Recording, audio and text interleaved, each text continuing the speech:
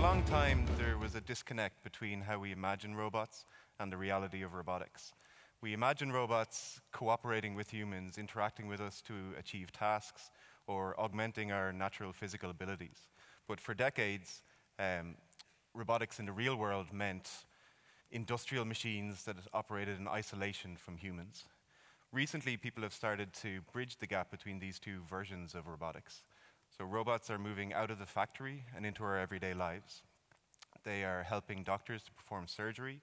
They are helping people who are paralyzed to walk. They're even replacing lost limbs and becoming a part of our bodies. But I think most people still feel a little bit apprehensive if we think about working this closely with robots. And that's pretty natural because you know, robots, like all machines, malfunction sometimes. Um, and I think you know, the technology will obviously continue to improve, but we'll never completely get rid of all errors. And I think the bigger problem isn't necessarily that the machines malfunction, but it's about the materials we use to build these robots. So robots are usually made from hard plastics or metals, but humans, we're made from soft, squishy, bendy, stretchy materials. So if we want to think about robots that interact with us, that come in contact with us, it seems to make sense to think about building robots from similar soft materials. So soft robotics is a growing field of research. Um, soft materials have the advantage that they're very good at handling delicate objects like uh, raw eggs or human tissue. And it also means that if they do malfunction, they can't do too much damage. They can't really hurt anyone. Um, it might be surprising, but they're also pretty robust. Uh, so they can take a lot of punishment without being damaged. And that, that might seem counterintuitive, but if you think about dropping your laptop on the ground, you're going to worry about breaking it. If you think about dropping your favorite piece of clothing on the ground, it's no problem, right? I mean, soft materials can change their shape without any permanent damage. So today I'm going to talk about some examples of soft robots, um, and I'll start by talking about soft actuators. So actuators are the active part of robots. They're the parts that cause movement. Um, there are lots of different types of soft actuators, but in particular, I'm going to talk about robots that are air-powered, so powered by air. And what this really means is just balloons that do interesting things when they're inflated. So uh, if we think about a simple party balloon, when we inflate that, it just expands in all directions. It's not very interesting or useful. We can make it more interesting by combining it with a mesh like this that behaves like a finger trap. So if you push and pull the ends, you can change the diameter. So if we wrap a mesh like this around the outside of our party balloon, then we get an artificial muscle that gets shorter when it's inflated. Um, so some of our students use these kind of artificial muscles to create a robotic wrist device that could assist people who had suffered a neurological injury. Um, the wrist is a pretty complex joint. It has lots of different motions.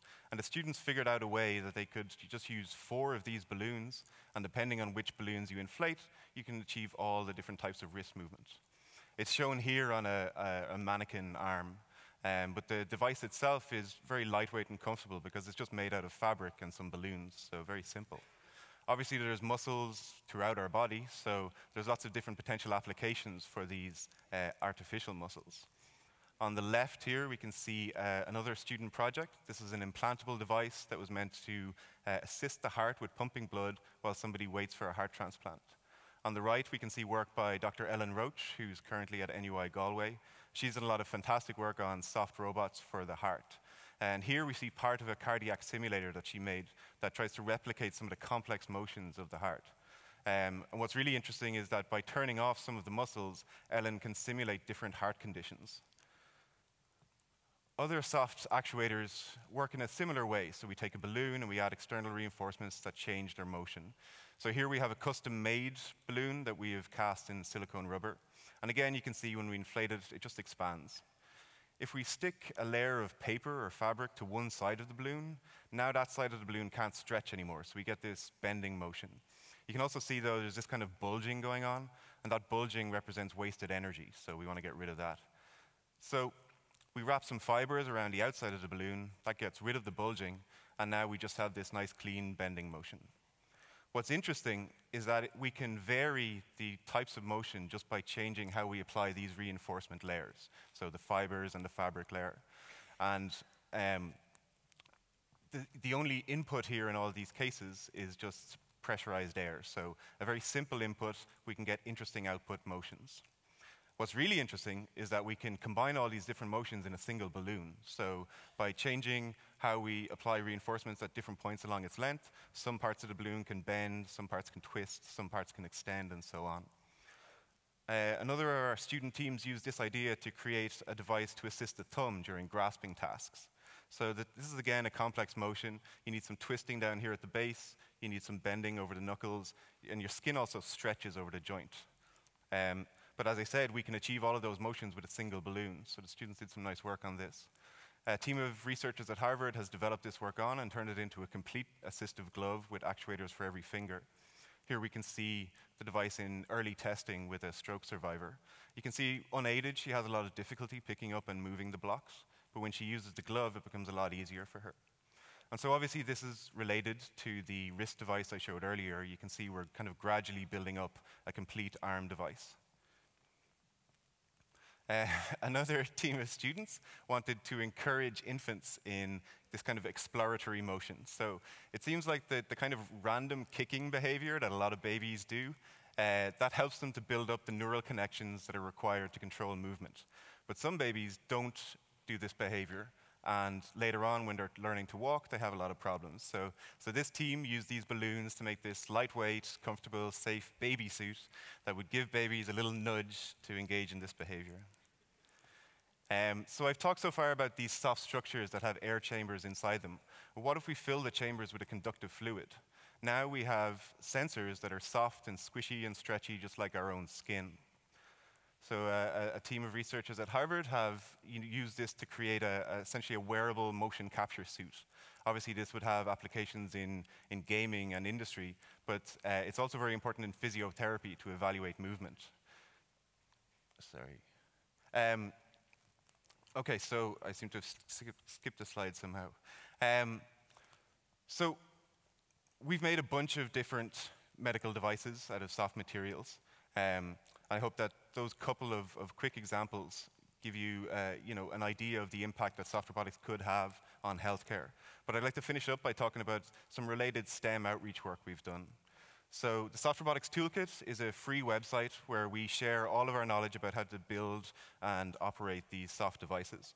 We originally made it as a textbook for uh, our students in our undergraduate medical device design class but we decided to share it to see if other students and research groups would like to use it.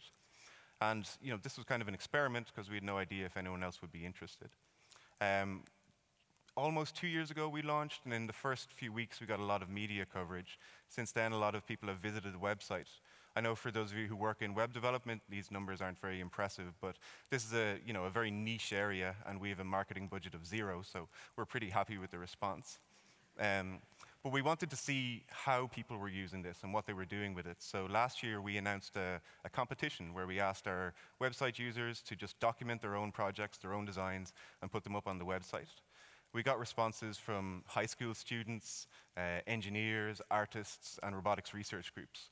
But I think you know, some of our favorite entries were from younger high school kids, like this teddy bear that hugs you back when you squeeze its belly, um, or this uh, this glove that can detect and reduce hand tremor. Um, we had another high school student, Simone from New York, who um, set up her own company to build and sell some of the open source designs from our website. Um, she also started a soft robotics meetup group with over 100 members. She came last summer to work with us and build a soft medical device. And starting in September, she will study engineering at Harvard. So these stories are, are great. We love these. But interacting with high school students also highlighted some problems for us. So when we built this originally, uh, we were focused on engineering students that had access to specialized equipment. Making soft robots usually involves casting silicone rubbers in 3D printed molds.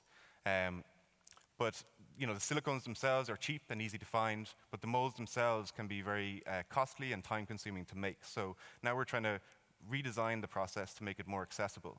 So one approach, this is from Oisin Byrne, a student of mine in UCD. He's done fantastic work on trying to print the actuators directly so we can get rid of the molds. We don't need complex fabrication anymore.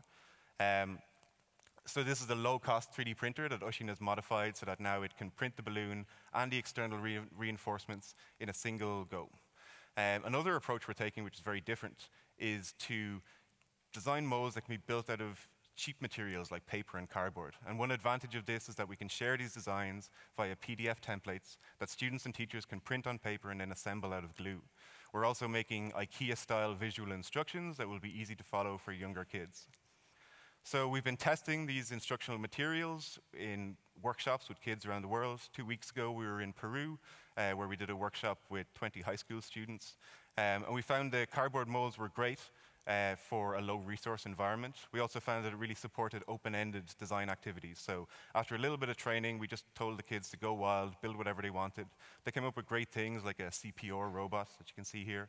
Um, and they were able to, in a few minutes, design and build custom molds in weird shapes. And that wouldn't be possible with 3D printing.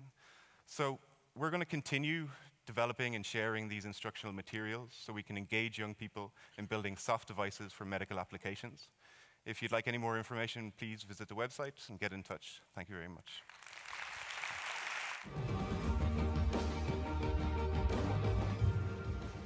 Want to be in the audience next time? Click here for tickets to InspireFest 2017.